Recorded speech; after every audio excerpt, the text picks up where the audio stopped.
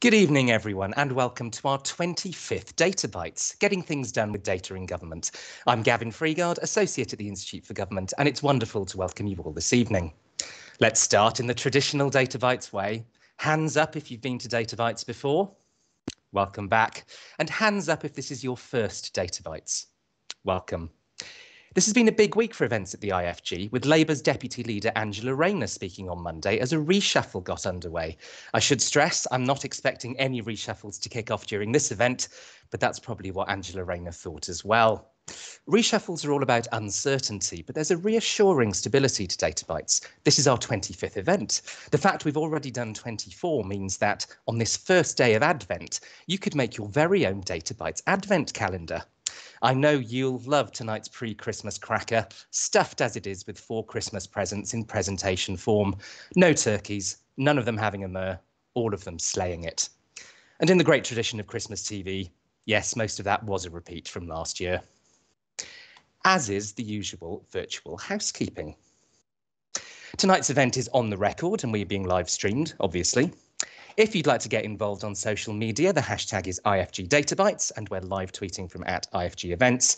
And if you want to put questions to our excellent speakers this evening, you can do so using the Slido page you're almost certainly already on. If not, go to bit.ly slash SlidoDB25.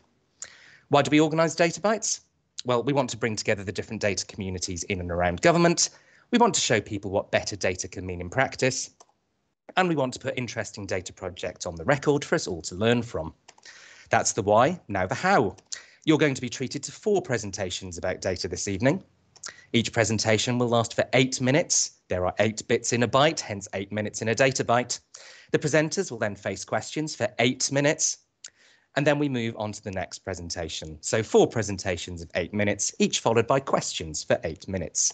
And you can watch the previous 24 events, including last month's, on the IFG website. In the grand tradition of Data Bites, you're probably expecting some funny charts and terrible jokes about what's happened over the last month. Perhaps you're expecting me to pepper my presentation with references to the Prime Minister's speech to the CBI near Newcastle, a speech where at one point the Prime Minister lost his train of thought, a train that presumably lost its way before Leeds, never mind Newcastle. Or maybe you saw that story about people trapped in a pub with an Oasis tribute band, and you're starting to wonder where all the bad puns are going to come from.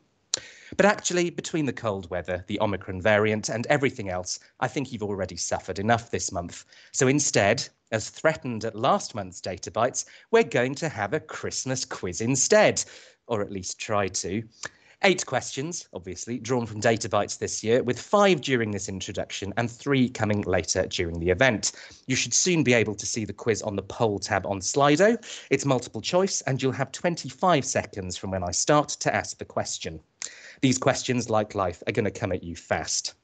Do enter your name, though if the audience Q&A at previous Data Bites is anything to go by, I predict a very strong showing for Anonymous.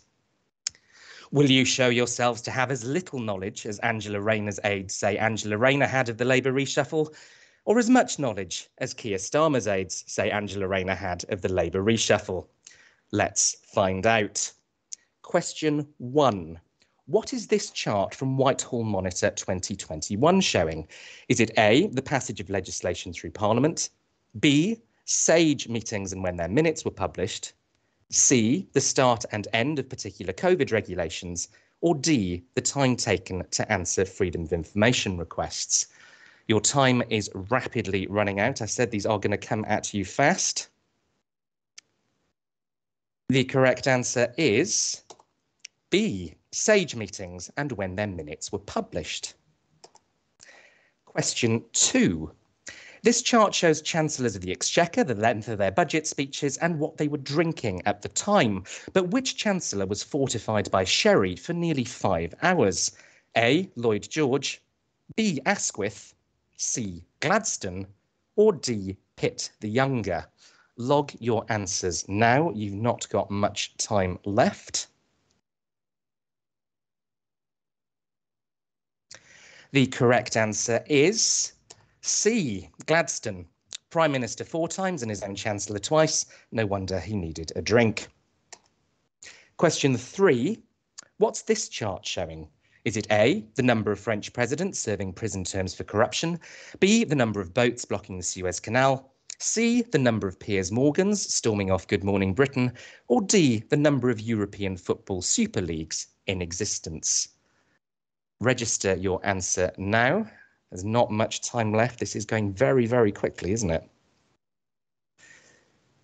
The correct answer for this question is, of course, B, the number of boats blocking the Suez Canal. Has a block chip ever given us such joy? Question four. What is this a detail from?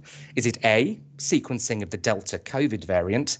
B, the first NFT artwork bought by government? C, polls for the Hartlepool by-election? Or D, the composition of the Welsh Senedd? do log your answer now. Your time is rapidly coming to an end. And the correct answer on this one is D, the composition of the Senedd. And the last question during this introduction, question five. This chart is about the England men's football team, but does it show A, all England tournament matches, uh, major tournaments that have involved Gareth Southgate, B, wins, draws and losses in major tournaments, C, penalty shootouts won and lost, or D, share of tournament goals scored by Harry Kane and Alan Shearer. This is where we find out if you're on the ball or paying the penalty for not watching Data Bites earlier this year. The correct answer on this one is A. 36% of all England's matches at major tournaments have involved Gareth Southgate. Those are the first five questions of tonight's quiz. Keep watching for the final three. But the main reason to keep watching is, of course, tonight's speakers. First this evening is Natalia Domagala from the Central Digital and Data Office on algorithmic transparency. Government launched its new standard just this week. Then we'll hear from Henry Duquemin from the Department for Business, Energy and Industrial Strategy on the use of real-time indicators to monitor the economy. Our third presentation comes from Ben Henshall and Mallory Durran, government data scientists based at Number 10, talking about their personal experiences of dashboards speaking truth to power across government. And our final presentation of the evening, our 100th Data Bites presentation overall, comes from Michael Birtwistle from the Centre for Data Ethics and Innovation, the first person to make a third Data Bites appearance on the second iteration of the AI Barometer. Data Bites will return after our winter break on the 2nd of February 2022, and then on the first Wednesday of each month through to July before our summer break. That assumes, of course, we continue to find partners willing to support Data Bites. We don't get to run them without sponsors very often. Would you like your organisation's name up in lights? If so, please get in touch with my colleague Pritesh. And we are, of course, looking for speakers for next year's events. If you might be interested or know someone who should be, please get in touch with me. We'll be holding some virtual drinks as ever after tonight's event. We'll put these up again at the end. Link is bit.ly slash db25drinks, password ifgdb25. Remember, you can ask questions of our speakers this evening on Slido. Make sure you switch from the polls tab where the quiz is back to the Q&A tab where the Q&A is. So without any further ado, let's hear from our first speaker this evening. Natalia, over to you. Thank you very much, Gavin. Can everyone see my screen? We can indeed. We've got the um, we've got the bar at the top, but we can see your slides.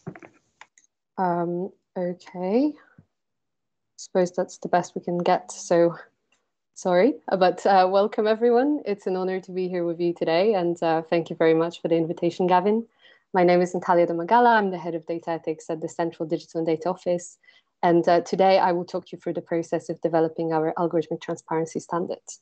We launched the very first version of the standard on Monday, and we have worked on it with the Center for Data Ethics and Innovation.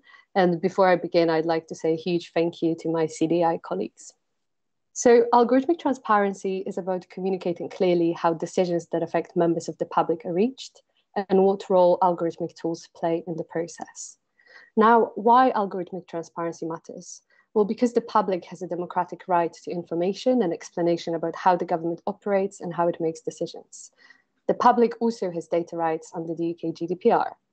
Opening algorithmic assisted decisions up to scrutiny helps build, build and maintain public trust in government. Algorithmic transparency also provides an opportunity for government departments to highlight good practice around the use of algorithmic tools. It also facilitates learning, and this is both within and across government departments. It contributes to improvements in the development, design, and deployment of algorithmic tools across the broader public sector. Finally, algorithmic transparency enables those who build, deploy, use, or regulate algorithmic tools to identify any problems with a given tool early on and potentially limit future negative impacts. And the need for greater transparency on the use of algorithms in the public sector and also the need to standardize this information have been continuously flagged and recommended by a number of bodies and organizations. And the full list is much longer than what you can see here, but here are just a few organizations that have called for that in the UK. We recognized and responded to these calls through our commitments, firstly in the National Data Strategy in September 2020. And then we reiterated this commitment in the National AI Strategy, where we specified that we are working towards developing a cross government standard for algorithmic transparency. Now, let me explain the process of developing the standards. So we began with a series of workshops with external experts. And during those workshops, we asked what information on the use of algorithms should be included in the transparency, uh, the algorithmic transparency mechanism. How should this information on the use of algorithms be presented? How often it should be updated? And which algorithms should be in scope?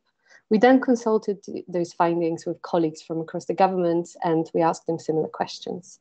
Finally, jointly with the Centre for Data Ethics and Innovation, we commissioned deliberative research, and that was with an aim to consider how the public sector can be meaningfully transparent about algorithmic decision making.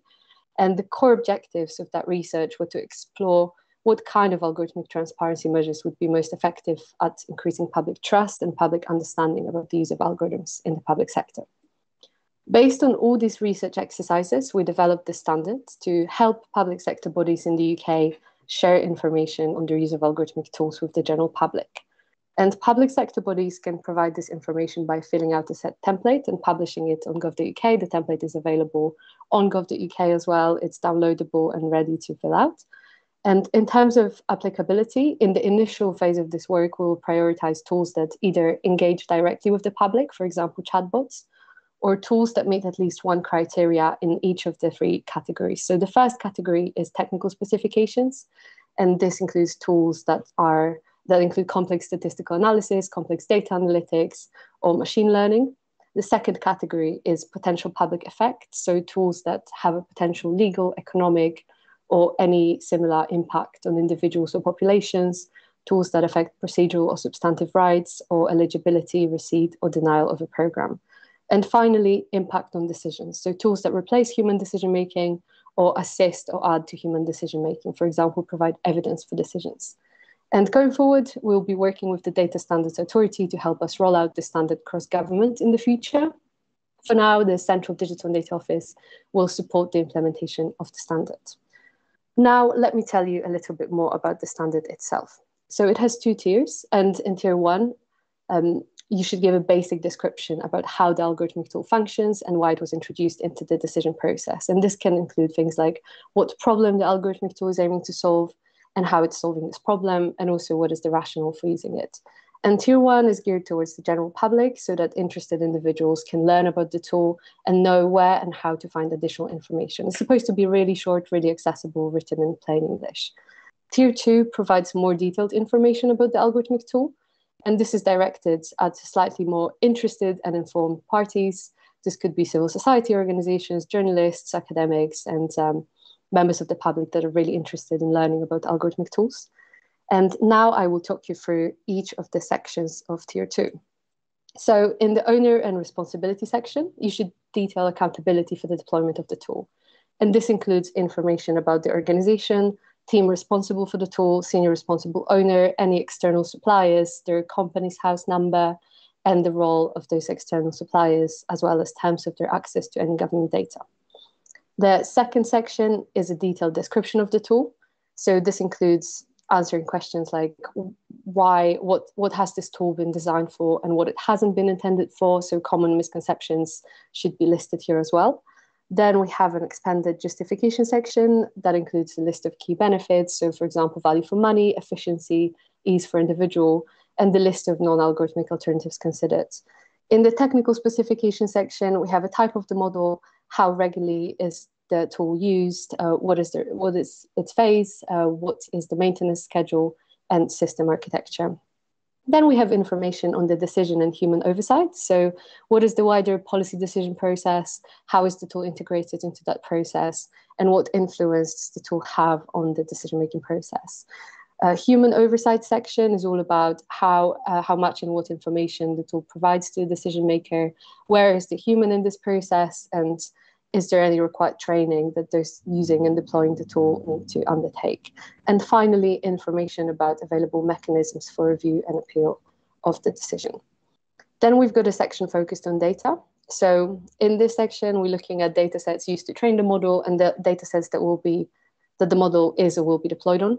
And this includes the name of the data set, overview of the data, uh, URL for, the data sets if they are available online, information data collection process, including the original purpose of data collection, information on the data sharing agreements in place, and details on who, ha- or on who has and will have access to this data. And finally, the last section is all about uh, risks and mitigations. So first we have a list of all the impact assessments that have been conducted, including links to those assessments. And this could be anything starting from the data protection impact assessments um, to any other relevant assessments. Then a section on risks and mitigations is a detailed description of common risks for the tool and the detailed description of how those risks have been mitigated. Uh, as this is a standard, we also developed a schema to support teams working through it. And this is to make sure that the data on the use of algorithmic tools is consistent and of high quality. In terms of the next steps, the released version of the standard is the very first version we have developed. And during the upcoming pilot phase, we'll gather learnings and feedback from project teams that are willing to trial out the standard. And based on, on these insights, we'll refine and iterate it further. We are also currently finalizing our fifth national action plan for open government, and one of the working groups set up to deliberate on the next set of commitments has been focusing on open algorithms. So, jointly with representatives from civil society, we developed a draft of a commitment exploring actions that would increase accountability of decisions made with algorithmic tools. And we are planning to continue to engage with civil society and develop the next steps for this work beyond that, that initial uh, working group. And um, finally, publication of the standard comes after the government consulted on a proposal to introduce transparency reporting on public sector use of algorithms in decision making. And this was as a part of a DCMS run data and new direction consultation. So we are currently analyzing the feedback. And I think I'm out of time. So that's it from me. Thank you very much. Thank you very much indeed, Natalia, and uh, congratulations on the launch this week. Um, just a reminder that it doesn't look like you need a reminder, everybody, um, that you can ask Natalia questions via uh, Slido. We've got loads coming in, so apologies in advance uh, to those of you whose questions I don't get to. So, Natalia, the first question um, is from Anonymous. Good evening to you, Anonymous. How did the public engagement inform the design of the algorithmic transparency standard? What did you learn from members of the public? Great, that's an excellent question. So, um, so the public engagement part was actually really, really key for this work. So, uh, jointly with the Center for Data Ethics and Innovation, we commissioned a research consultancy called Britain Thinks to run a deliberative study. And, um, and this study span across three weeks, and we were asking members of the public from all over the UK um, members of the public of different age, gender, ethnicity, socioeconomic group, uh, also different levels of trust in institutions, different levels of digital literacy. And we essentially asked them what kind of algorithmic transparency measures they would like to see from the government. And during this three week process, we gradually build up their knowledge of algorithmic transparency overall. And we concluded that exercise in a co design session where they were able to tell us what information they would actually want to see. And um, some of the findings from, from that study were actually really uh, really key for the development of the standards. So, for example, the, the fact that we currently have two tiers, this is something that we've taken directly from that study because um, that was a suggestion that the members of the public um, posed to us. They essentially said that they wouldn't necessarily want to read all of this information, but they would still like it to be available online. And they suggested that there should be a layered, um, there should be a layered uh, level of information, so they don't have to see all those detailed categories, but they know how to access them if they wanted to. So that was um, one one way in which this public engagement study informed our work, and also in terms of categories of information that we currently include in the standard. That was also um, very much based on, on what we discovered with Britain Thinks and the Centre for Data Ethics and Innovation. Excellent, thank you. Uh, the next question is from Anna. What do you think are the biggest challenges for algorithmic transparency in government?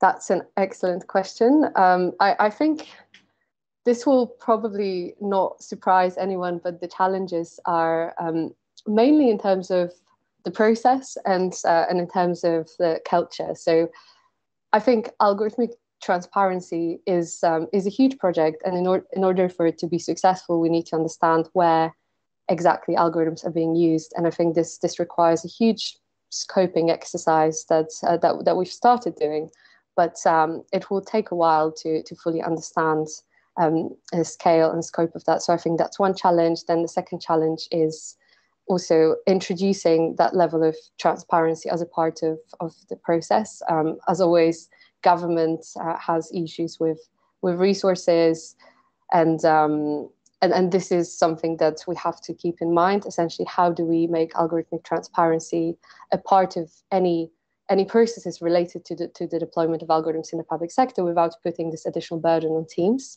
So I'd say that's that's another challenge.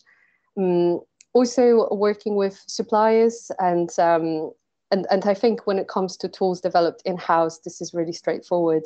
But um, but there is a there is a whole journey ahead of us in terms of um, trying to to make sure that our suppliers are also able to answer all the questions that we have in the standards.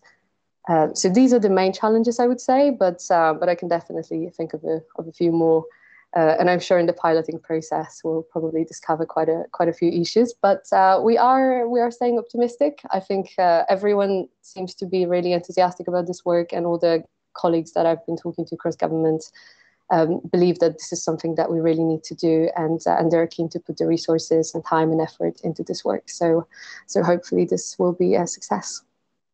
Excellent, thanks. We've got about four minutes left, so we've got some time still for other questions. Um, the, fir- the next one is from Sam from Med Confidential. Evening to you, Sam. Um, Sam says the standard looks at process, but to what extent is the notion of a data sheet for data sets useful to know the heritage and data biases of tools built on data sets and discourage bad behaviour by profit focused entities? So I'm not actually sure I understand the question.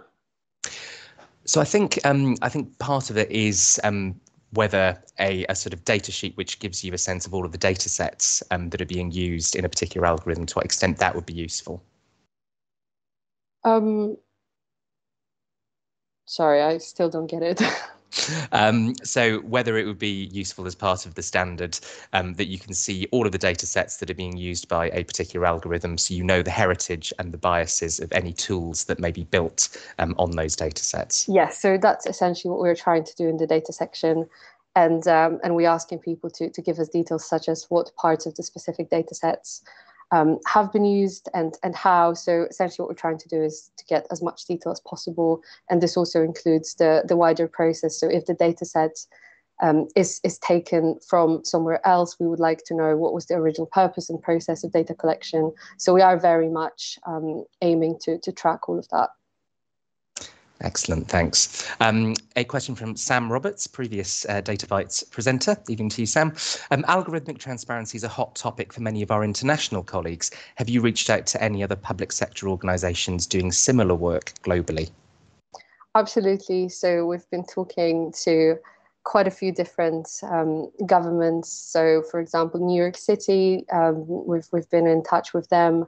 Um, also, the government of Canada and France, they've been doing some fantastic work. We've also been closely looking at what's happening in the Netherlands and Amsterdam. And I think the um, Open Algorithms Network, convened by the Open Government Partnership, has been extremely useful and helpful in this whole process because it really gave us an opportunity to discuss some of this work with people working on algorithmic transparency around the world. So, so that was another way of engaging with international partners that I've personally found really, really useful. Excellent. Uh, the next question is from Dr. Ian Brown, even to you. Um, he is interested in your view on whether you envisage the future need for a cross departmental or external validation of the algorithms being developed in government. In fact, there are quite a few questions that sort of ask about what the enforcement might look like, whether there are teeth um, that sort of sit behind all of this. Excellent questions. So I'm afraid at this stage I can't offer any more details, but uh, please rest assured that we are thinking about that. Excellent. And um, another question from Ian actually. Algorithms are only as good as the decisions they make. Do you believe a more holistic view of decision making process is also needed alongside this focus on algorithmic transparency? Yes, absolutely. And this is precisely why we have an entire section of the standard that focuses on the wider decision making process. Because I think, especially when we're talking about the quote unquote black box algorithms, it's really essential to actually provide details on where they sit exactly within the wider policy and decision making process. So, this is something that we are including in the standard. Excellent. Final 30 seconds. I'm going to squeeze one quick question in. Um, this is from Paul Waller, and it's actually about black boxes as well. Does the transparency requirement imply that public bodies should not buy black box tools or services? So, the transparency requirement is all about communicating how those algorithmic tools are being used um, to the public. So, so we in this particular work, we, we're not actually providing any any specific instructions on on what to buy and what not to buy. Um, having said that, this is being looked at in different parts of the government, but in this particular work, we're focusing on giving as much detail as possible on what's currently being used. Excellent. Well, thank you very much, Natalia, and um, we look forward to hearing how the pilot goes. Great. Thank you very much. So, um, thank you to all of you for your um, excellent questions there as well, and sorry for those that I wasn't able to get to. Now, before we get to our second uh, speaker of the evening, you'll be delighted to hear it's time for our next quiz question. So, remember to go back to the poll tab on Slido. Hopefully, um, it's about to appear on screen and will also appear on your Slido. So, question six What does this chart show? Is it A, people opting out of their health data being shared. B, the average number of COVID tests conducted each day. C, the average number of London Underground passengers per day. Or D, signatures on a parliamentary petition to require verified IDs to use social media.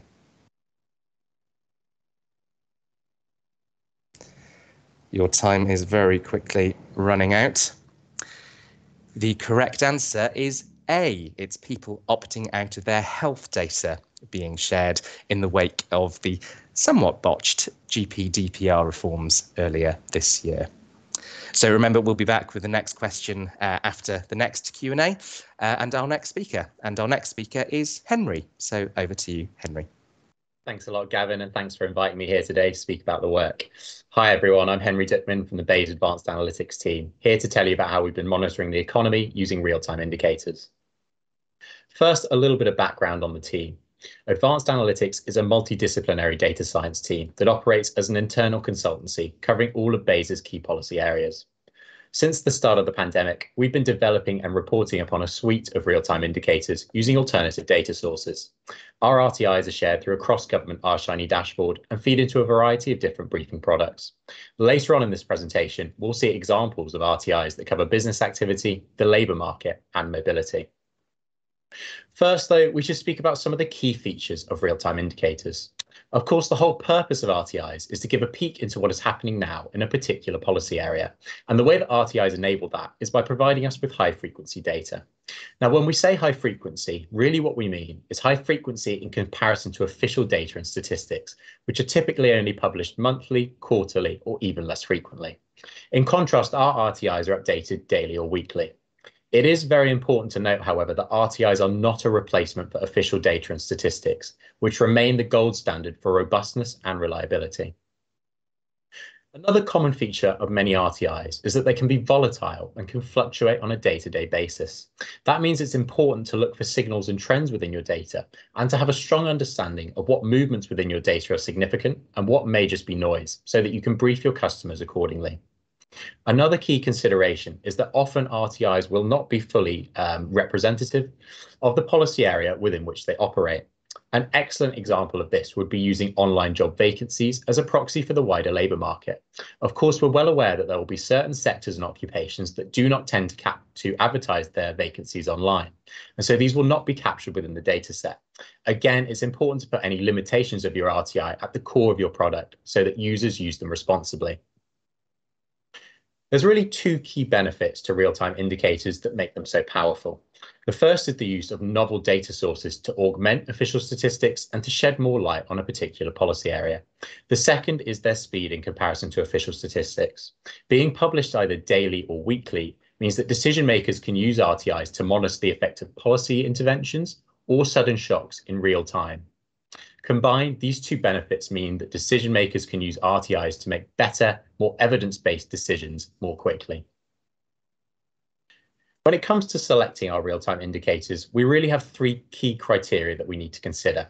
The first is what policy questions are we actually interested in trying to answer? Here are a few that we've considered over the course of the pandemic. How is lockdown affecting sectors? How are people responding to guidance? How have labour markets been impacted? The second key consideration is what official data is out there already. Are there any official data sources it will be useful to augment or enhance with some complementary RTI monitoring? Are there any data sources it would be useful to have a leading indicator of, even if it's less robust than the official stats themselves? Finally, and perhaps most critically, we need to consider what RTI data is actually out there and available for us to use. It's all very well having a policy question you'd like to answer and an official data source that you'd like to enhance with some RTI monitoring, but if the data isn't out there, you're not going to get very far. So when it comes to selecting real-time indicators, it's generally a balancing act between these three different considerations. Turning now to some examples of some of our RTIs, the first one I'd like to speak about is some of our national footfall data, which is supplied by Springboard and which you may have seen in the ONS's Faster Indicators Bulletin.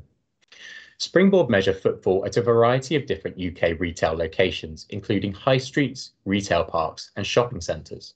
The chart on the right neatly illustrates one of the key takeaways from this data source, which is that footfall at retail parks has held up much better than footfall at either high streets or shopping centres consistently over the course of the pandemic. This data is updated daily and was most useful last year when restrictions were changing rapidly and we wanted to investigate the effect that different combinations of restrictions had on consumer behaviour. The data is also available at a regional level, which has been useful to allow comparisons between regions with different restrictions. For example, when Scotland and Wales had different restrictions to England. We've also used this data to do deep dives into areas of particular concern, such as when there were local lockdowns last year. Alongside our footfall data, we also make use of a variety of open mobility data, including Google Mobility, Apple Mobility, and Citymapper data. We found Google Mobility to be a particularly good complement to our footfall data because Google Mobility splits out its mobility indexes by location type with an index for workplace activity, transit station activity, park activity, and more. The chart on the right illustrates one of the key takeaways from this data source, which is that workplace activity in London has fallen more than the wider UK and has remained below the UK average consistently throughout the pandemic.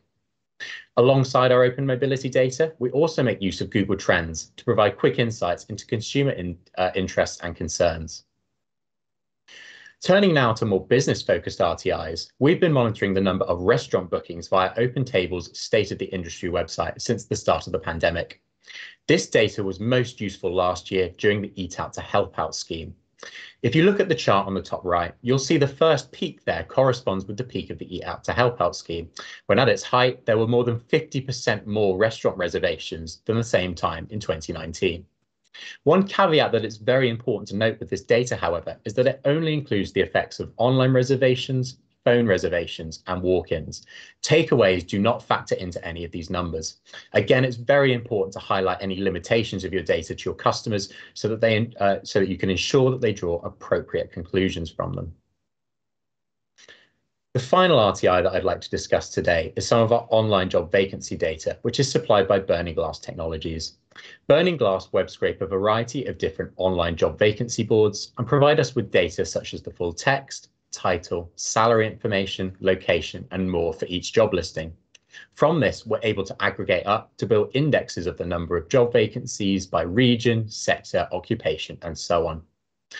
Alongside this, we also receive additional variables of interest, such as the uh, percentage of adverts offering the option to work from home, which is shown on the right. As you can see from the light blue and the pink lines, the proportion of adverts offering home working opportunities remains well above the pre-pandemic baseline of 1 to 2%, shown as the darker blue at the bottom of the graph. This data is updated daily, providing us with dynamic insights into the labour market. In conclusion, RTIs are novel data sources that provide much higher frequency updates than official statistics, but which are less robust and are not a replacement for official stats, which remain the gold standard. It's very important to understand the limitations of each RTI data source and to communicate them to customers as a core part of your product to ensure that the data is not misused. RTIs are often volatile and can fluctuate on a day-to-day basis, so you should look for signals and trends within them and ensure you have a strong understanding of what movements are significant. Finally, RTIs enable policymakers to monitor the effects of policy interventions or sudden changes and help support them in making quicker, better, evidence-based decisions.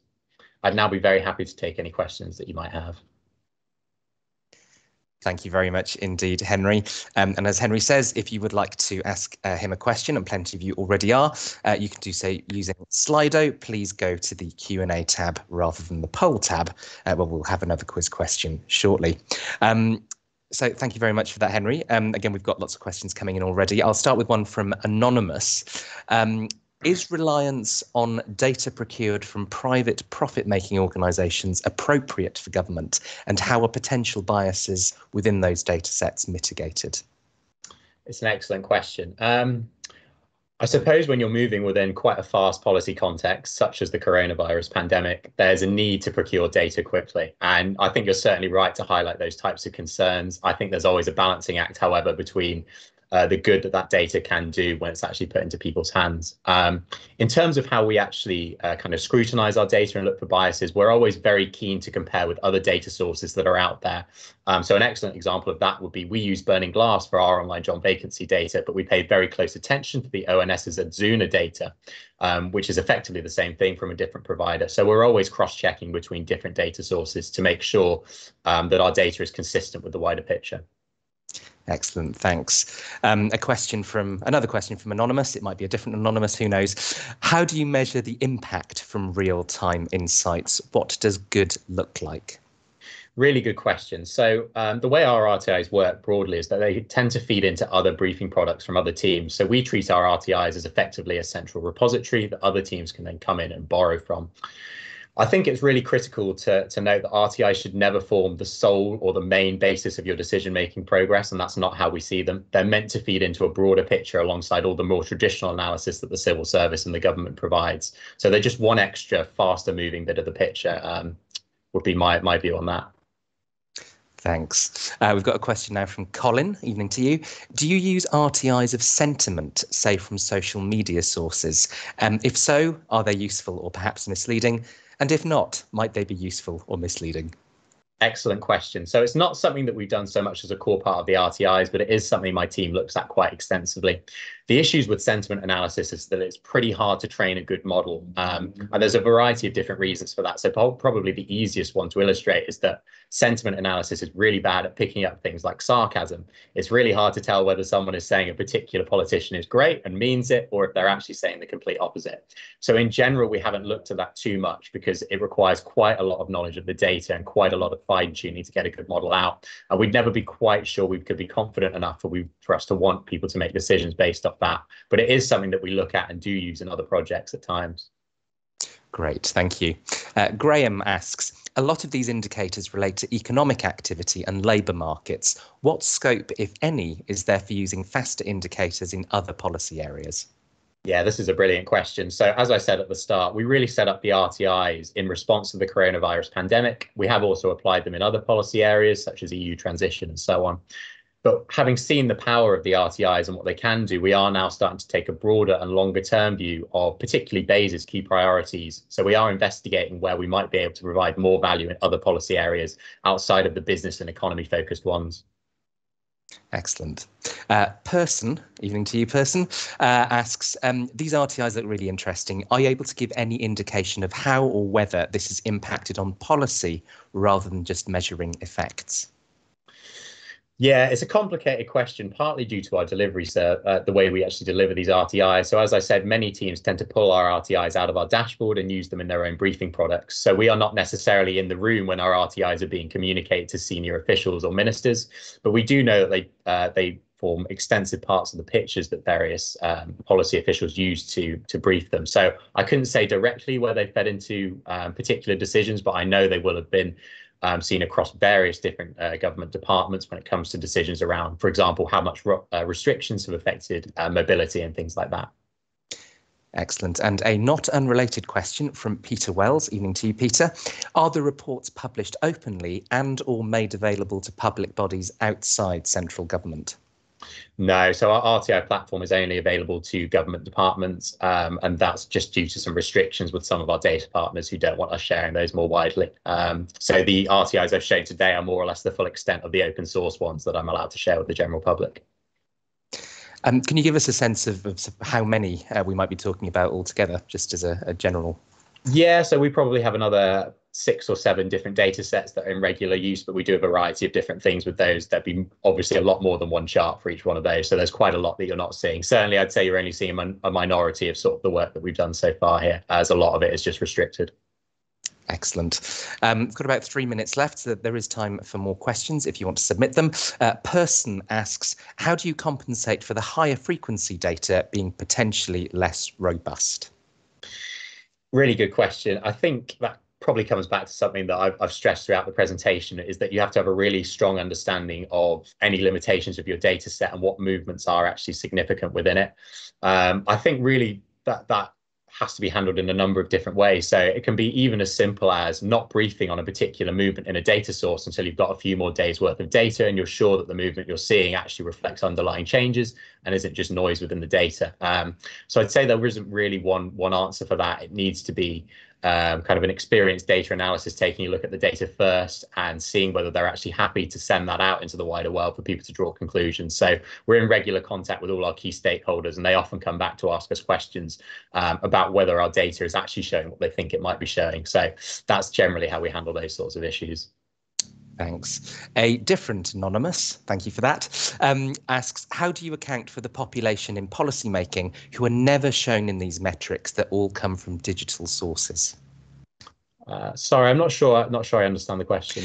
Um, so, given a lot of the um, things that you've shown us sort of comes from uh, digital sources, you mentioned Open Table, for instance. How do you account for those members of the population who won't show up because they're not online or they don't have access to to those things? Yeah, really good question. So again, I think it comes back to clearly communicating any limitations of your data sources to your customers. Um, so we're well aware that certain data sources in our platform, for example, might skew towards particular areas of the population due to where they come from. So they might favor uh, younger people or older people or people of particular demographics and so on. I think it comes back again to making that a core part of the RTI product. When you are briefing about these changes that you're seeing in a particular RTI, you need to make sure the limitations are there and clear and stress that say, you know, this RTI is showing XYZ, but we should note that it is mostly focused on younger people and so will not have picked up on changes due to, say, older people being more vaccinated now and so on. So that's the way we handle that. Excellent. And we've got another uh, transparency related question from Anonymous. If these RTIs are being used for briefings, is there enough transparency and openness when ministers provide answers to the House or during a press interview? Um, I'm not sure I'm actually really qualified to answer that question, to be honest. I'm not sure I can give you a good answer for that. No problem. Um, we've got about 40 seconds left, so um, a final one from me. Um, our first ever uh, Data Bites presentation back in April 2019 was about the faster economic indicators from the ONS. To what extent have you been working with other parts of government um, on developing these, and what, what, what's the sort of trend at the moment for, for people using them? Yeah, there's a lot of interest in RTIs across government from a lot of different sources. We're very well linked up with the ONS. In fact, some of our data, such as the footfall data that I've shown you there, was a joint procurement. Um, and we regularly collaborate with them. We're in regular contact most weeks about various briefings with them. Um, more widely, we feed into a variety of different working groups um, that look at various RTI related products. So we have a really strong network of contacts of um, other colleagues who are doing brilliant work across the civil service in a similar space. Excellent. Well, Henry, that's been absolutely fascinating. I think that may be a new record for the number of questions we've got through in eight minutes as well. And I'm sure we could have got through a lot more. Thank you very much indeed. Thank you so much for inviting me. Our pleasure. Um, so before we get to our next uh, set of speakers, it is of course time for our next quiz question. So remember to go back to the poll tab on Slido. Hopefully that is appearing any moment now. So question seven.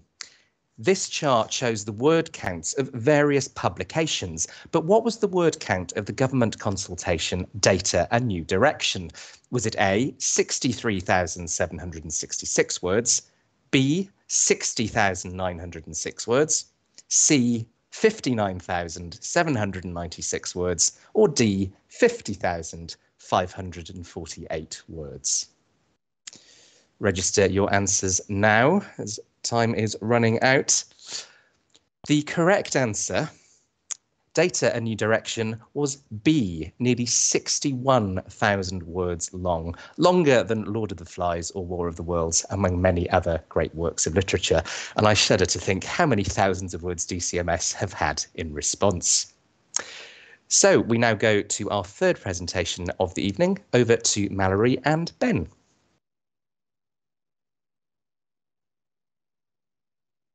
Thanks so much, Gavin. Hi, I'm Mallory. Hey, I'm, I'm Ben, and we wanted to come and speak to you. And this is particularly aimed at kind of data scientists working in the public sector, but obviously, kind of everyone um, uh, really welcome to listen. And uh, Mallory and I have been working in government kind of last few years in various different data science teams, and we thought we'd just talk through three examples that we found really effective um, and kind of three different types of tools, um, really focusing on kind of a product um, so kind of your situational awareness tools, like what the ground truth actually is in the world, your analytical tools, so like how can you explore the data really quickly before you do much more complex analyses like ML, and then your kind of decision tools. So how can you create the perfect tool for a particular instance so that uh, that decision can be as evidence-based as possible. Um, so I think Mary's going to kick us off. Awesome. Thanks, Ben. Um, the first type of product we wanted to talk about was situational awareness, which um, lots of teams across government do an excellent job of. For example, the BEIS team that, that you've just heard from.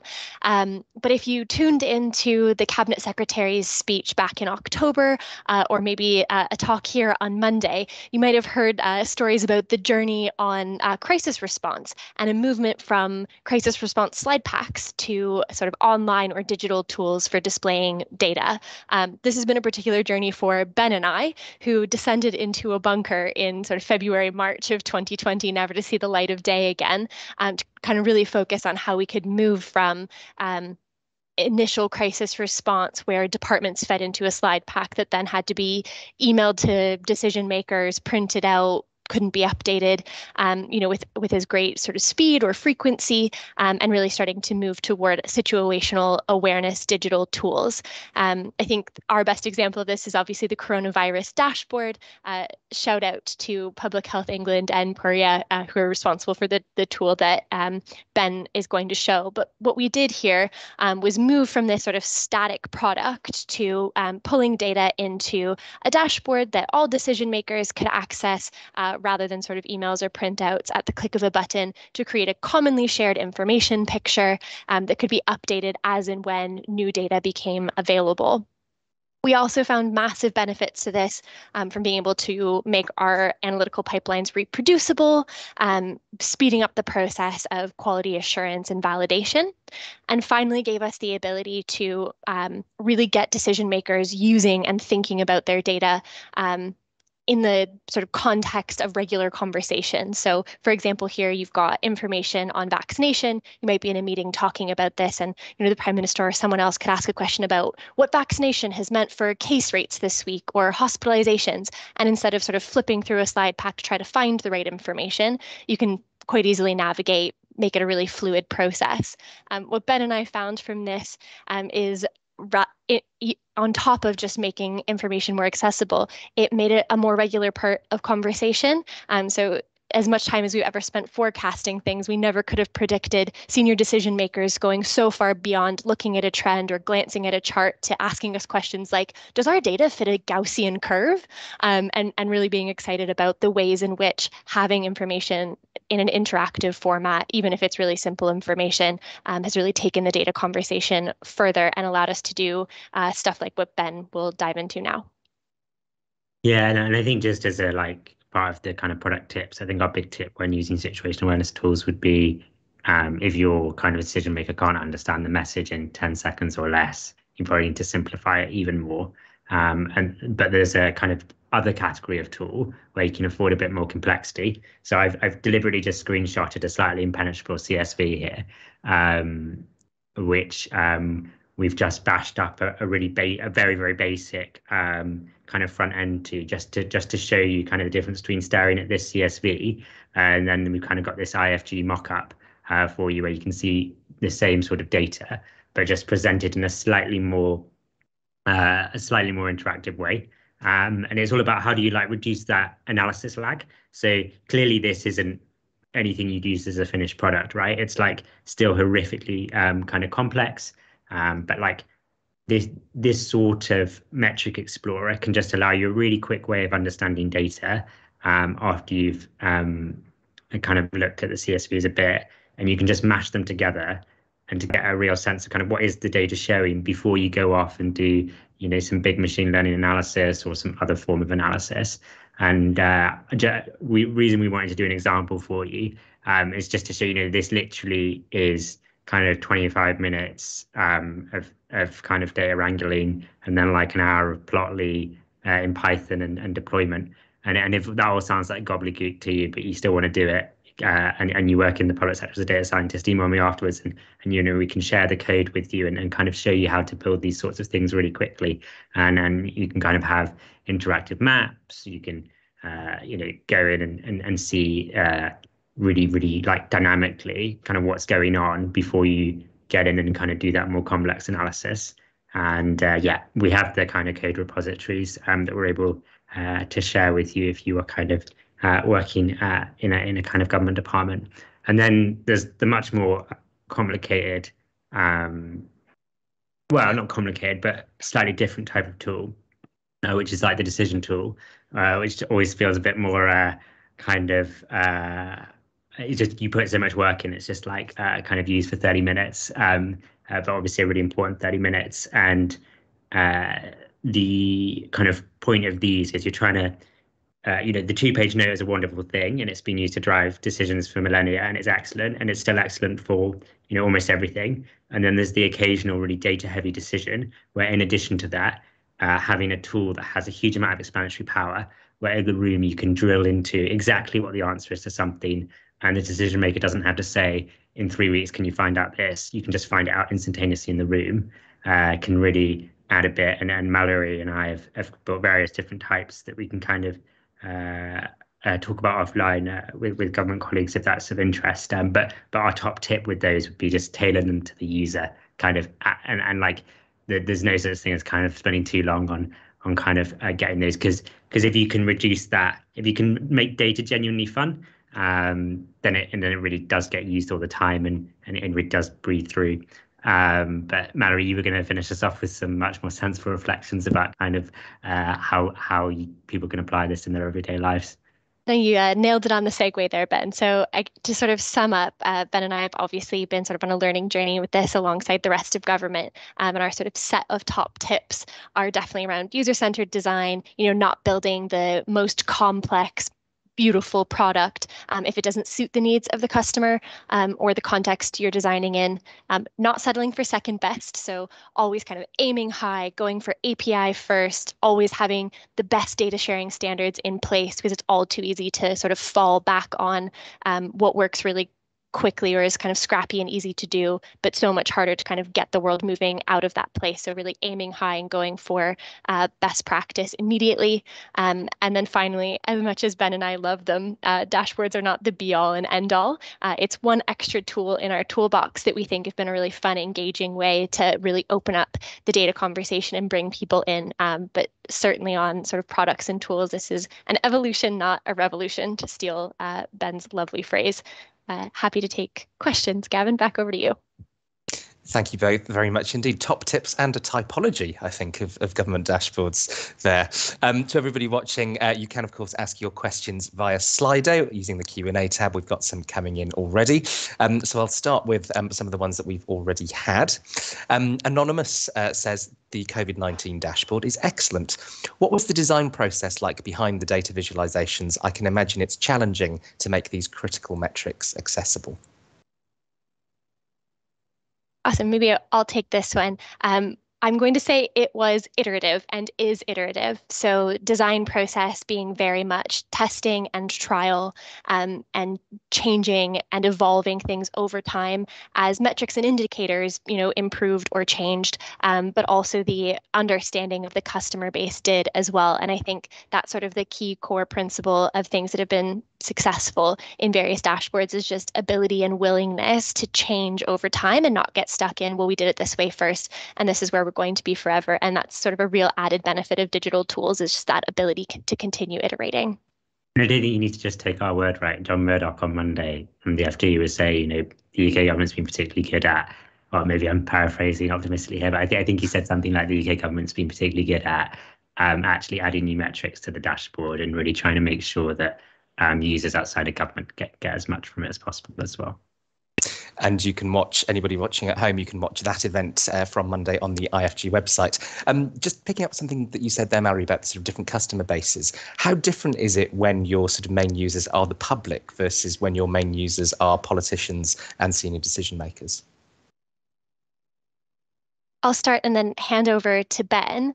Um, I don't know that there's one good answer to that um, because we have lots of different customers within the public um, as well as within decision makers who have varying amount of time to engage with varying amounts of information to try to make different kinds of decisions. So, you know, I imagine that there's a whole crowd, maybe all of them on this call, um, who use the COVID dashboard to make their own decisions about their own safety and the safety of their family members. Um, and that's not massively different, um, you know, than, than government decision makers kind of looking at this information. Um, but I think really thinking about the time someone has to, to input into consuming the information um, and what that means for how you highlight key messages would be my sort of uh, fallback answer for that. Ben, do you have anything to add? just like a tip like get these things out really quickly and and, and let people tell you what they don't like you know i think doug uh, you know said this when he was at amazon like everything you think's going to land really well with people never does and it's the stuff that you kind of uh, and it's the stuff that you didn't really expect that people love and it's just like you're not going to discover that except by iterative product development. And the only way and if you spend three months developing something and then share it you're going to be super entrenched in your views about it. So like we really do try and launch products in hours and days um, just so we can start that cycle going and and that would kind of and, and you're welcome you know kind of public sector employees on this call are welcome to to use our kind of existing code repositories to help leapfrog that process for them uh, Great, thank you. Um, we've got a question from Jay. Good evening to you. When will what you do become the norm? I mean, I think it is the norm um, within within government. I think um, you know clearly that's like a loaded question. Right? It kind of assumes that it's not the norm right now, and you know I'm super happy to like take offline with with this Jay and just you know kind of chat through kind of why we think it's why we think it is the norm, and and and wherever it currently is, you know the offer's there. They can replicate from the cookie cutter and, and repository and kind of get going. Uh, sorry, slightly predictable answer, but nonetheless. Great. Um, Anonymous asks, what alternatives to dashboards are you exploring?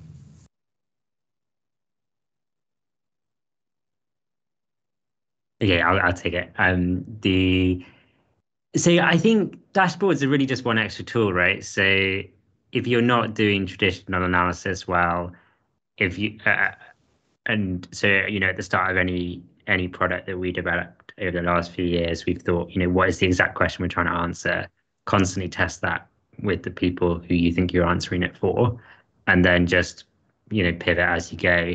Um, sometimes it genuinely is appropriate to do some monster ML analysis, like machine learning analysis, um, that doesn't need a dashboard, and you actually might do a huge amount of work, and then it comes out as one killer stat. So, uh, you know, there's um, there's a line in the public domain from uh, Gove's speech in the Ditchley Lecture last year, and uh, that project took 16 weeks um, to do, and it is one stat in that lecture, right? But it's it's so like it's so important to find the truth out that it was worth doing that. That was the best way to communicate um, that whole project. Um, so I think it's just about not thinking that just because you put loads of blood, sweat, and tears in it, it needs to be a massive tome. Um, it's just whatever's most effective with the audience. I, I know we all know that, and it, it's kind of obvious, but it, you know it doesn't mean we all do it all the time. So worth repeating. I suspect there are a lot of audience members currently nodding quite vigorously uh, in response to that. Um, our next question is from Peter Wells again. Um, how are the dashboards archived for the public record or for our future historians, if you like to think in terms of users? Yeah, I mean, so, so they, you know, all of the dashboards code exists and, um, you know, we archive in accordance with the standard procedures of the organization we work for. Um, so there's kind of, you know, we wouldn't be here if we were some shady, um, shady fake who uh, lived in opacity. And I think hopefully the, the very fact that we're here sh- sh- showing that these things exist um, shows that, you know, we we kind of follow best procedure and we didn't want to kind of go into all, but obviously we have huge ethical parameters that we work with every day and uh, we spend our life kind of making sure that every project we do is, is very closely uh, monitored um, and recorded like that. Excellent. Must be must be a challenge to archive things which are, are changing so much in terms of the metrics. Sorry, is that question, Gavin? Um, I mean, not really, right? It's it's digital, so everything is very easy to very easy to archive. I mean, beauty of doing code-based analysis as well. Um, easier to work from. You know, someone might, you know, ten years ago might have been changing a single cell in an Excel sheet, um, which now we can just kind of monitor and record in a slightly different way. Yeah, and same with quality assurance. So we're just able to code review, and um, with you know, loads. The, the lovely thing about a modern product is you can have, well, we you could we don't have, but you could have literally hundreds of people working on the same product, and it would work fine. Whereas you can't do that in a traditional Excel analysis, or at least if you can, you're very very good at Excel collaboration, uh, much better than I. Your SharePoint runs faster than mine. um, we've got just under a minute left, so this might be the final question. It's from Sam from medConfidential, um, who notes that there are certain uh, bodies, uh, such as uh, DHSC, which may have a reputation for picking metrics to suit the message and limit the ability to dig down and check the details. To what extent have you had warring dashboards or metrics in your work, uh, sort of conflicting results coming from different places? Yeah, I honestly can't think of an example of where that's happened. Um, I think I know it's maybe a shock to everyone, but everybody is just trying a really, really difficult job of trying to select the most appropriate metrics. And inevitably, if you have lots of different people and you have the great neurodiversity that government does, that's sometimes going to lead to different metrics and then that's that's a great opportunity to have that discussion about why and then kind of think about what the best metrics are. But but mallory spends much more time thinking about metrics than me so, so you probably have another much more sensible view on this. I actually think this is one of my favorite things about the existence of dashboards is it we can sort of much more easily and much more quickly share some of this work, which means that if two different teams are thinking about a piece of analysis or a particular measure in a specific way, um, this has increased sort of speed of transparency. Um, and, you know, we share our work back to the Department for Health or whoever it is and, and vice versa. Um, and I think just sort of that consistent iteration, as Ben says, you know, pushing things out as quickly as we possibly can has meant that you don't end up in a place where two teams trying to do the best work they possibly can just thought about things in a different way, leading to slightly different outcomes. I think it's opened up speed of collaboration. Um, and I think dashboards are absolutely brilliant for that. And uh, you know, it doesn't need to be one dashboard to rule them all. Uh, there's like lots of space for people to be developing products, and I think it makes all of our work stronger and better. Allows for challenge against you know metric selection um, and all of that. So I think actually it's been a really super positive thing um, and and warring dashboards only in the sense of like consistently making each other better. Excellent. Well, that's been absolutely fascinating. I'm sorry we haven't got longer because there are lots more excellent questions to put to you. But Ben, Mallory, thank you very much indeed. Thanks, everyone. Bye. Uh, now, before we get to our final speaker of the night, we have, of course, our final quiz question. So remember to go back to the poll tab on your Slido. Uh, hopefully that is coming up on screen and is about to come up on Slido as we turn to question eight. When it comes to baby names in England and Wales, which is the third most popular of all cabinet ministers' names, which is the purple line on the chart you can hopefully see? Is it A, Elizabeth, B, Jacob, C, Michelle, or D, David? The third most popular of all cabinet ministers' names when it comes to baby names in England and Wales. Elizabeth, Jacob, Michelle, or David? Your time is rapidly running out if it hasn't already done so. The correct answer, the third most popular uh, baby name amongst all cabinet ministers' names, is B, Jacob. So that's it uh, for the quiz questions. Um, so remember to go back to the Q&A tab uh, to put your questions to our next speaker, Michael. Over to you. Thank you, Gavin. Um, a real honour to be back and to be marking so many milestones. Um, and with a sneak peek at an early Christmas gift, you'll all no doubt be eagerly unwrapping uh, when CDEI publishes later this month. Um, so the AI Barometer is a research report looking at the opportunities and risks around AI and data-driven technology use and the barriers to responsible innovation that hold us back from maximizing its benefits. Um, in our first edition last year, we looked at five sectors, and this second edition looks at applications in a further three sectors, employment and workforce management, transport and logistics, and education.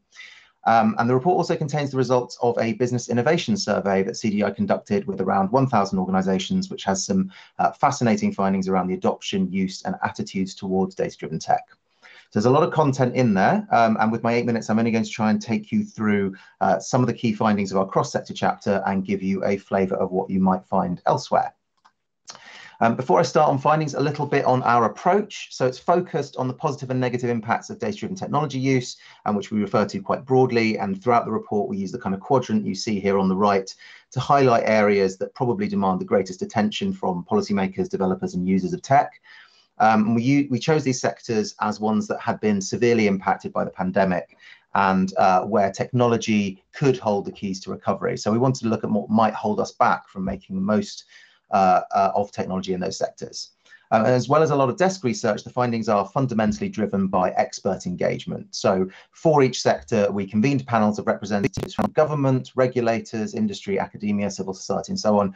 And we used comparative survey tools to, um, uh, to so that those panels could meaningfully assess and rank a, a, large number of technological impacts, which helped us to build the quadrants and, and which we used the results of to, to provoke discussion in a series of workshops.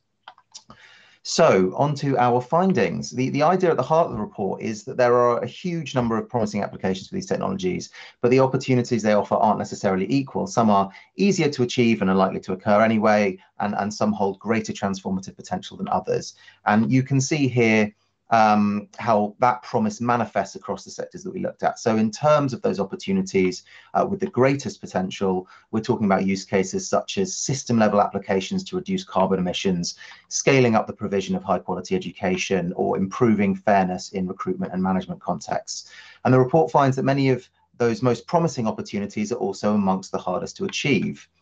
And there are some patterns to the types of use cases that tend to be easier or harder to achieve. So if automation of a process doesn't really have a direct or large impact on individuals or where you're adding in data-driven insights to existing human decision-making, our panel generally rank those as easier to achieve. But when you're trying to transform existing human decision-making systems into ones more directly driven by automated systems, that's more challenging, be that long-term planning or qualitative judgments about human performance and using data-driven technologies uh, or approaches to, to actually reduce uh, bias or discrimination in real-world processes does remain challenging with, with relatively few live examples of this actually happening. Um, another area we look at in the report are the risks presented by these technologies, which is an important part of understanding how can uh, how we can maximize the benefits of that technology. So we tested a pretty broad and varied collection of these with our panel. So they are a mix of aggravating factors, so a lack of explainability, for example, um, and later stage impacts such as uh, a loss of trust in AI or the institutions using such technologies. Um, and as with last year, the way that these manifest can vary a lot by sector and even uh, between use cases within sectors. Many of these will be familiar to those working in the field, but our findings do give a sense of the most prominent concerns raised by our panels that were common across all sectors we looked at and what policymakers, developers and users may want to prioritize in terms of mitigation. So having looked at what the prize is in these sectors um, and the risks that we need to manage, we conclude by highlighting the major cross-sectoral barriers that hold us back from realizing that prize. So this is really the punchline of the report. Um, these barriers included low trust in data-driven technology, which is often driven by unmitigated risks. So our panel highlighted a number of instances in recent years where that low trust has tangibly inhibited innovation or potential of particular use cases by reducing people's willingness to share data or those systems or driving organizational reluctance to use data-driven technology for fear of backlash.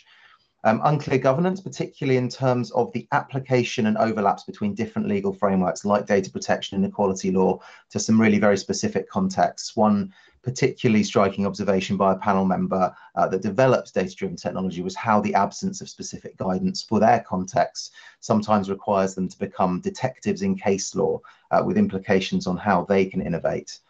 Um, misaligned market incentives and poor market information. So this is the question of whether developers in some contexts are really incentivized to develop products that meet user needs, for example, those of educators, and how easy it is for both vendors and users to navigate that market of data-driven technologies and find what they're really looking for. Um, this point about scientific validity. So here we're talking about the real world use of new data driven metrics that sort of purport to be measuring concepts like performance or productivity or engagement, um, for example, of staff, but where the validity of those metrics as sort of accurate measures of those concepts is not necessarily proven and how that can drive uh, low trust. And then lastly, sort of low digital and data maturity. So here we don't just mean access to the technology itself, but organizations not yet having comprehensive processes for how they handle data beyond basic legal compliance and not yet integrating the outputs and insights of data-driven tools properly into their processes. Um, so, for example, in how they recruit or manage staff, um, what one member just panel, uh, sorry, what one panel member described as um, being stuck in pre-AI workflows. So those are the headlines of the report, but there's a lot more sitting underneath it. I can really recommend having a browse of the Business Innovation Survey, uh, which we conducted with Ipsos Mori. We'll be publishing both the full survey report and a summary as part of the barometer chapters. And these look at key trends around the adoption of data-driven technologies among UK businesses. You can see a tantalizing glimpse of the findings there on the right, but to give you a uh, taster um, it looks at how barriers to adoption vary at different points in a firm's technology adoption lifecycle. Um, and these include things like uncertainty over the value of the technologies, low digital maturity, resource constraints, and regulatory uncertainty, really mirroring a lot of uh, our panel findings. And you'll also find um, detailed sector chapters covering opportunities, risks, and barriers across each of the sectors. And I'm pleased to report that overall, in comparison to the National Data Strategy, it's a mere 17,000 words in total. Um, but where when we publish it, it will be broken up into very manageable chunks so you can dive into whatever you might be interested in. Um, so this research isn't necessarily CDEI's bread and butter. We're more about working with partners to try and make responsible innovation happen in practice and learning about what that involves. Um, and in terms of the areas we looked at in this report, we have ongoing work around the use of um, recruitment tools and with the Centre uh, for Connected Autonomous Vehicles about sort of um, AVs and the future of AVs. And we're also supporting our DCMS colleagues' work on uh, data reform and the AI strategy. Um, more broadly, uh, we're prioritizing three themes this year in our work, um, data sharing, public sector innovation and AI assurance. And um, those are quite broadly drawn, and we're really interested in working with partners, particularly across the public sector, in delivering these. So if this has piqued your interest, um, please do get in touch with me at, at this email, or, or um, if you if you missed this, then do ask uh, do ask Gavin for it. Um, so that's all I had to say. Um, we hope you enjoy the barometer, uh, and when we when we publish it in a couple of weeks' time. Thank you very much indeed for the sneak preview, Michael, and congratulations on your Data Bites hat trick, uh, the first person ever ever to reach that. Um, just a reminder to everybody watching, you can of course use Slido to put your questions to Michael. Uh, just make sure you're on the Q and A tab rather than the polling one. Um, so, a question from from me first of all. Um, you sort of mentioned this isn't necessarily CDEI's bread and butter. What does CDI want to do with the barometer? What does it want to see change in the world as, as a result of its findings? So I think um, primarily this is sort of, you know, this is targeted primarily at policymakers, but also at developers and users of technology. One of the things it tries to do is give us a sense of relative importance. So there is, um, there are a lot of, there's a lot of hype around AI and data use. There's a lot of, um, uh, you know, a myriad of different issues, and this this is an, a pretty big research challenge actually in terms of trying to understand what what what's important. So what we're trying to give here is a sense of like um, where is action needed to make some of these most promising opportunities happen? What do you really, really need to mitigate in order to sort of make sure that these systems are, are trustworthy?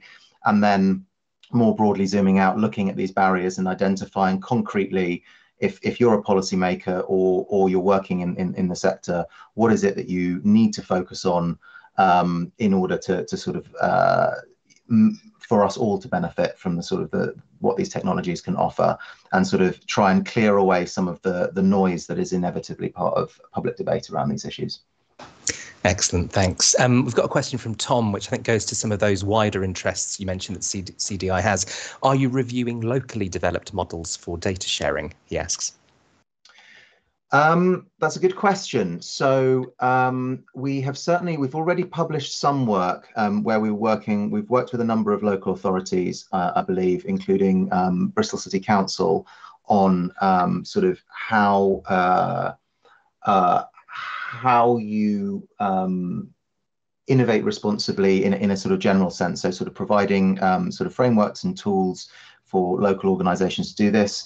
Um, we do have in the in the sort of medium and longer term um, the the ambition at this stage, I think it's probably the fairest way to put it, um, to sort of make some of those um, those sort of findings and tools more more broadly available. Um, another example, you know, it's it's not just about local government, but obviously sort of devolved bodies. Um, we have been doing a, a, piece of work with Police Scotland um, for example, on, on their use of, uh, of data. And again, it's something that we'd um, really love to bring to sort of a, a broader audience of, of, local bodies so that that the sort of the impact of that work isn't just necessarily constrained to, to sort of those individual organizations. Thanks. So this is um, second barometer. What's changed the most in how you've approached uh, the barometer, but also in terms of the trends in, in the sort of AI landscape? Um, Good question. So uh, I'll take I'll take it in two parts. The, the first part, um, I think we wanted to focus a lot more on the barriers um, this time around, and we spent a lot more time with our panels, sort of talking about those in detail and, and trying to work out the detail of those. Because ultimately, I think I think the last time around, we it was a much more exploratory piece where um, we were just trying to find out sort of about about those technologies and what the issues were around them. And this time around, we've tried to be a little bit more focused on what is it that we need to change in order to maximize those benefits. Um, and then in terms of um, sort of things that perhaps came out more strongly this time around or changing the trends, I think um, we are seeing, I think our research picked up in, in pretty much all of the, uh, well, actually more, more in education employment, the sort of the use of, the real world use of um, of, of data-driven tools, models, and that sort of thing, where the um, you know these are being sold and bought in a, in a in a market where it isn't clear sort of exactly how much development those things have had, um, and where um, particularly sort of buyer that buyers of those te- that, that that technology aren't um, aren't able to easily uh, understand whether a product meets their needs, um, where it's sort of the data provenance is of, of, the sort of the stuff it was trained on, um, and um, you know how whether it's been audited for algorithmic bias and so on. Um, and that's you know that's something that has informed uh, a sort of tranche of work that the the, the centre is um, working on. As I said, we've got this theme around AI assurance, and we're interested in looking at how can you sort of equip everyone in in the in that market to um, uh, to have that information and, and incentivize the sort of the developers and vendors of this technology to sort of provide that. Thanks. Um, got a question from Sam from medConfidential. Sam notes that there was some controversy in the summer of uh, 2020 around the sort of A-level algorithm, um, since the chair of CDEI was also the chair of, of Ofqual. Um, there's also been quite a lot of change at CDEI since then, with a, a new board and the, the sort of um, proposals in the national data strategy for the about the role of CDEI. How have processes, culture, um, etc., changed um, since over the last year or so at CDEI? Um, so yes, so we we have a, a, fantastic new board and a fantastic um, uh, new chair and a new executive director, and I think um, the real change over say the last six months has been um, a real refocusing around um, the way that we sort of um, design and deliver impact, and a real focus around this idea of partner projects, working directly with partners, largely in the public sector um, to, uh, as I say, uh, uh, we, we use this term responsible innovation, and it is a fairly broad term, and lots of people that mean different things by it. But um, essentially, understand how you innovate responsibly um, and how you deliver that in practice, and and and rather than simply doing sort of um, research that's disconnected from a lot of that, really working through what that means in practice with people and working out um, how to be a learning organisation, learn from that, and then be able to share that knowledge onwards. Um, so I think I think it's fair to say that that's sort of our renewed um, focus and, and our renewed focus across the three themes that um, um I've outlined, and um, uh, looking forward to sort of publishing a lot more work in that vein in the in the sort of coming months.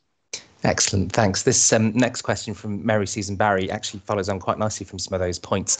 Um, she asks, does the barometer provide any trends or evidence for type of intervention which Her Majesty's government could make to support the use more widely in UK PLC?